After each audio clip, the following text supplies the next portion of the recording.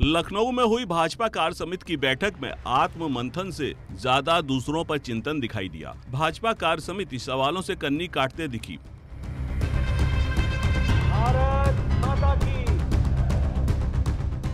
स्वागत भाषण उपलब्धियों के गुणगान के साथ बैठक का समापन हुआ। उम्मीद तो थी कि बैठक में लोकसभा चुनाव में प्रदेश में हुई पराजय के कारणों पर खुले दिल और दिमाग से मंथन होगा।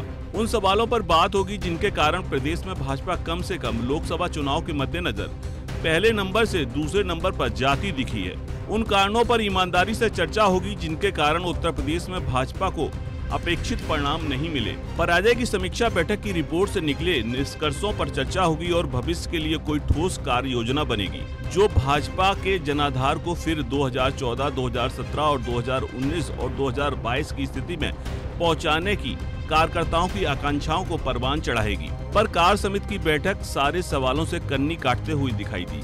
अलबत्ता आंकड़ों के मकड़ जाल से हार पर पर्दा डालने की कोशिश दिखाई दी। उपलब्धियों के बखान से घिसे पिटे शब्दों में हमेशा की तरह कार्यकर्ताओं से जनता के बीच जाने का आह्वान किया गया। वैसे भी एक दिवसीय कार्य समिति की बैठक में बहुत विस्तार से चर्चा होने की उम्मीद नहीं की जा सकती है।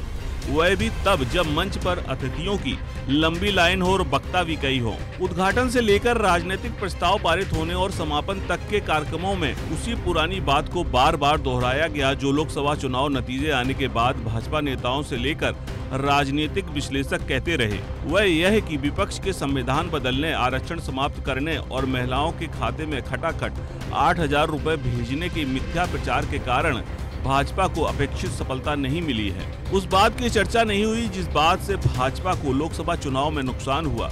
इस बात पर बैठक में कोई चर्चा नहीं हुई कि उन नेताओं पर क्या कार्रवाई की गई, जिन्होंने 400 पार होने पर संविधान बदलने का बयान दिया था।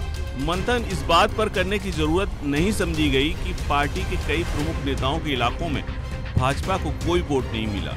इस सवाल पर भी कोई बात करने की ज़रूरत नहीं समझी गई कि अति पिछड़ी जातियों में भाजपा के कोर मतदाता समझे जाने वाली जातियाँ क्यों छिटक गई? सवालों पर मनन मंथन करने से ज़्यादा बैठक में नेतृत्व का फोकस सफ़ाई देने और राहुल अखिलेश की सफलता से हिंदू समाज पर मरने वाले खतरे के बारे में बताने पर रहा। News desk, N Bharat. आपके राष्ट्र की परिस्थितियाँ